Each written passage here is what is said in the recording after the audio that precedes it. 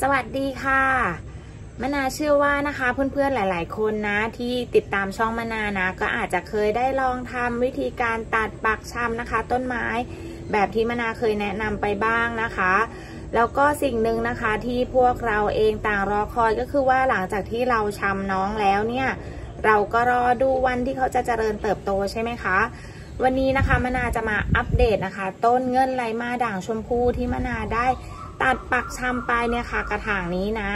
ตัดปักชำไปเมื่อประมาณ 15 วันที่ผ่านมานะคะ แล้ววันนี้เนี่ยก็อยากจะมาอัปเดตให้เพื่อนๆชมว่า หลังจากที่เรารอว่าน้องจะเติบโตดีไหมยังไงอะไรแบบไหนเนี่ย ก็เราก็จะได้เห็นพร้อมๆ กันในวันนี้นะคะ เพราะว่ามนาใช้วิธีการตัดปักแล้วก็ชำโดยที่ไม่ได้อบหรือว่าไม่ได้ควบแน่นนะคะ ปล่อยเขาเติบโตตามธรรมชาติ ซึ่งมนาคิดว่าหลังจากปักชำแล้วเนี่ยถ้าเขารากเขาเดินดีเนี่ยเขาจะต้องเป็นต้นไม้ที่แข็งแรง แล้วก็จเจริญเติบโตได้ดีนะคะ วันนี้นะคะเรามาอัปเดตต้นเงินไรมาด่างชมพูนะคะ ที่มนาได้ตัดปักชำไปเมื่อ 15 วันที่แล้วกันในคลิปนี้เลยค่ะปะเราไปชมพร้อม ๆ กันเลยจ้า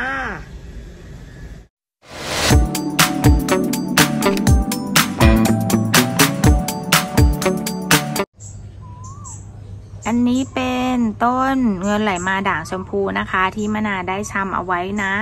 กระถางสีดำนะคะ เป็นกระถางที่ปักชำไว้ทั้งหมด 3 กระถางนะ เดี๋ยวเรามาดูต้นแม่ก่อนนะคะ นี่ต้นนี้ต้นแม่นะ ที่มนาได้ตัดน้องออกไปนะ เรามาดูว่าต้นแม่ของเราเป็นยังไงกันบ้างนะคะ กระถางนี้เป็นกระถางแม่นะคะ เดี๋ยวมนาเล่าให้เพื่อนๆฟังก่อนเผื่อเพื่อนๆที่ยังไม่ได้ตามชมคลิปการตัดปักชำครั้งที่แล้วนะคะ เอ่อสิ่งหนึ่งที่มนาตัดต้นนี้เพื่อไปปักชำใหม่ก็คือสังเกตเห็นว่าเนี่ยค่ะ ตรงโคนต้นเขาเนี่ยค่ะ กิ่งของเขากิ่งใหม่ของเขานะ ยอดใหม่ของเขาเนี่ยเขาเริ่มมีสีน้ำตาล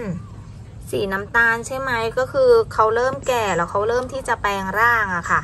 แต่การแปลงร่างของเขาเนี่ยมนาไม่ได้ขึ้นหลัก มันก็ทำให้ใบเขาเล็กใช่ไหมพอใบเขาเล็กเราก็เลยตัดเลยค่ะ ตัดเอามาชำ แล้วก็ตอนนี้เนี่ยน้องก็แตกหลอดใหม่ออกมาแล้วนะคะ โดยการแตกหลอดของเขาเนี่ยเขาก็จะหนีเขาแตกออกจากข้างนี้เขาแทงออกจากข้างนี้นี่ค่ะหลอดใหม่ ก็กระถางแม่ก็ยังคงอยู่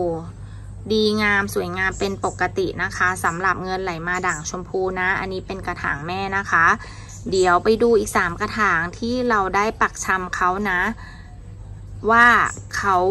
เติบโตแล้วก็สวยงามแบบไหนบ้างนะคะ เดี๋ยวเรามาไล่ดูทีละกระถางเลยนะ กระถางนี้เป็นกระถางที่วางข้อนะคะ วางข้อแบบวางแบบตามแนวนอนนะ รากเขาเวลาเขามีรากออกมาให้เขา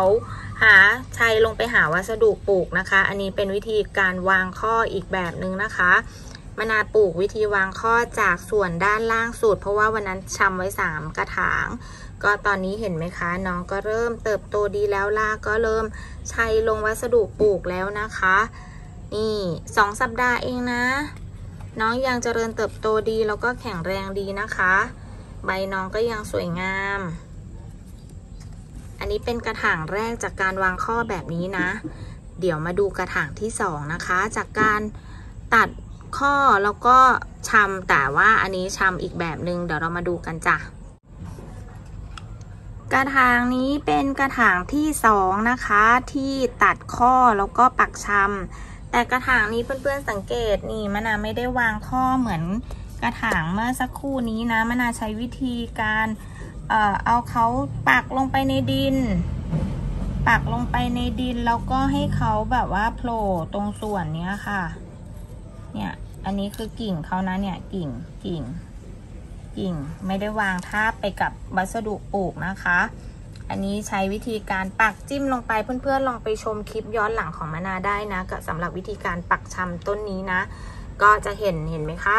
เขาก็จเจริญเติบโตได้ดีแข็งแรงดีนะคะ แล้วก็ใบก็แข็งแรงสวยงาม รอวันที่เขาแตกหลอดนะ ก็อาจจะใช้เวลาอีกสักสองสัปดาห์นะคะน้องก็น่าจะแทงหลอดใหม่ขึ้นมาให้นะ อันนี้ วางในที่ร่มรำไรนะคะ ไม่ได้เอาไปอบหรือควบแน่นนะจ๊ะ ก็เห็นถึงความเจริญเติบโตได้ดี เดี๋ยวเรามาดูอีกกระถางหนึ่งนะ ตรงนี้กระถางนี้เป็นกระถางส่วนที่ชำยอด นี่เพื่อนๆเห็นไหมจ๊ะมะนาใช้กิ่งตรงส่วนยอดนะคะ ปักชำลงไปในวัสดุปลูกเอ่อ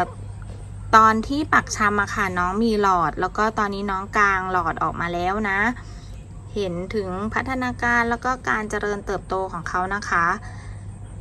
สามกระถางผ่านไปด้วยดีน้องมีความเจริญเติบโตได้ดีนะคะ ไม่มีกระถางไหนที่แบบว่างองแงให้มานาเลยนะ อยากจะบอกเพื่อนๆนะคะ วิธีการปลูกต้นไม้อะบางทีแล้วเนี่ยเราปลูกแบบง่ายๆ แล้วก็ดูแลแบบง่าย ๆ เนี่ยค่ะ เขาก็จเจริญเติบโตให้เราได้เหมือนกันนะนี่จะสังเกตโดยเฉพาะส่วนยอดเนี่ยเขาเริ่มที่จะแปลงร่าง แปลงร่างก็คือเขาแยกในส่วนของใบออกมาชัดเจนนะคะ ในหนึ่งใบในใบของเขาเนี่ยคือถ้ามะนาปล่อยเอาไว้เนี่ยใบเขาก็จะเริ่มเล็กลงเล็กลงใช่ไหมก็เลยตัดสินใจตัดเขาออกมาชำดีกว่า แล้วตอนเนี้ยใบเขาก็เริ่มมีแฉกแยกออกมา มีหู รอเขา ก็อันนี้ก็เป็นวิธีการตัดปากชำแล้วก็น้องก็เจริญเติบโตได้ดีนะคะ วันนี้มะนาวก็มาอัปเดตนะคะสามกระถางนี้ให้เพื่อนๆชมนะ ต้นแม่ก็ยังสวยงามเช่นกัน เป็นยังไงบ้างคะต้นไม้ของมะนาวที่ได้ตัดปักชำนะคะ 15 วันเพื่อนๆก็เห็นการเจริญเติบโตของเขาแล้วนะ ก็มานายอยากขอเป็นกำลังใจนะคะ ให้กับเพื่อนๆทุกคนมือใหม่ทั้งหลายนะที่ลองปลูกต้นไม้นะคะ เราอยู่กับเขาด้วยความรักนะคะแล้วก็รอดูวันเขาเติบโตนะคะมนาเชื่อว่าน้องๆต้นไม้ของเราเนี่ยนะคะ เขาก็พร้อมที่จะเจริญเติบโตไปพร้อมกับเรานะสำหรับคลิปนี้นะคะมนาขอลาเพื่อนๆไปเพียงเท่านี้นะ กดติดตามเป็นกำลังใจให้มนาด้วยนะคะแล้วก็รับชมคลิปของมนา ในคลิปถัดไปด้วยการกดกระดิ่งเพื่อรับการแจ้งเตือนด้วยนะจ๊ะ